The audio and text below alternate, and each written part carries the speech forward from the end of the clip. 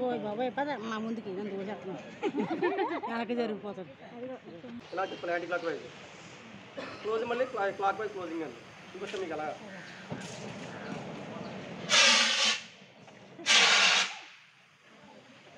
అంటే కొంచెం